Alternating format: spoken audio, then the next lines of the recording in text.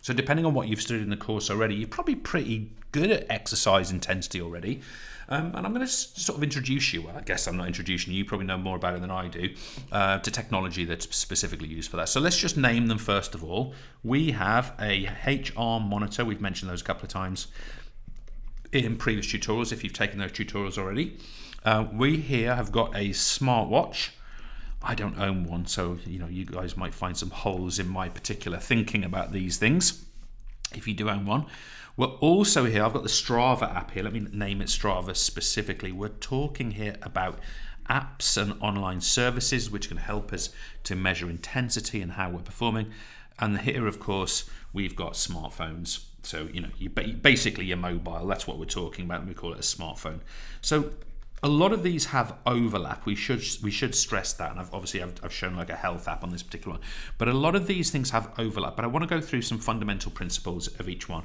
So heart rate monitor, typically it's a belt and a watch. So it doesn't have to be belt and watch. It doesn't have to be because sometimes a belt will connect with your phone. It will connect with uh, a piece of fitness equipment or whatever it happens to be.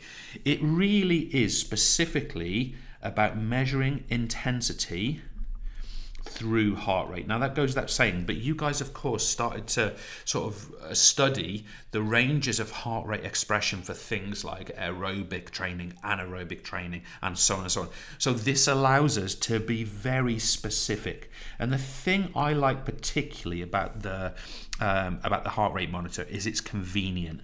Okay, and I really want to put that point in there. It's convenient. Why is it convenient? Because it's there on the wrist. You could be running on a treadmill covered in sweat. You turn your wrist towards you. There's your feedback. There's your feedback. So it's brilliant for what we would call feedback during performance. We can call it concurrent feedback if you want to get really technical about it, but it's really good for feedback during the performance.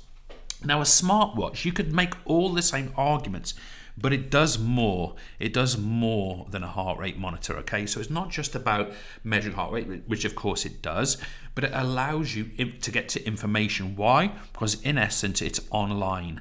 This allows it to be comparative.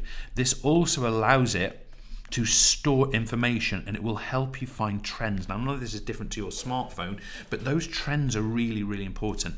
It also covers not just when you're exercising, but it also covers your rest your recovery. It also, as you probably know, because it gives you feedback on your sleep.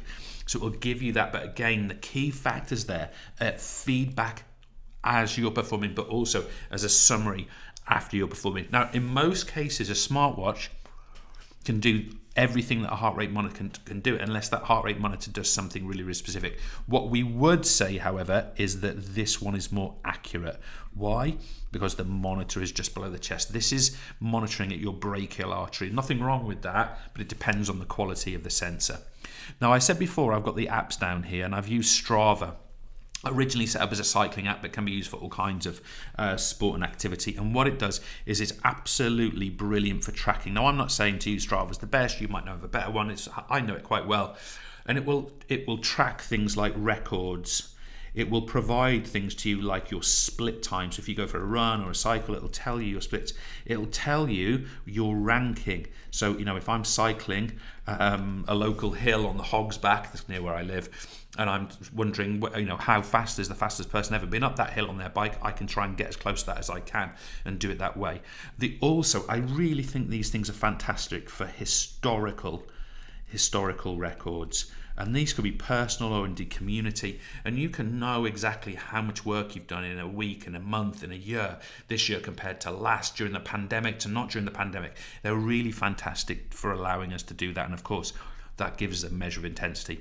And finally with our smartphone i think the first thing to say about smartphones are is that it's basically apart from younger children it's everyone. Now i don't mean to exclude anyone that doesn't have a smartphone but the point is that these are in the hands of 90% of people in this country. Therefore they're really convenient.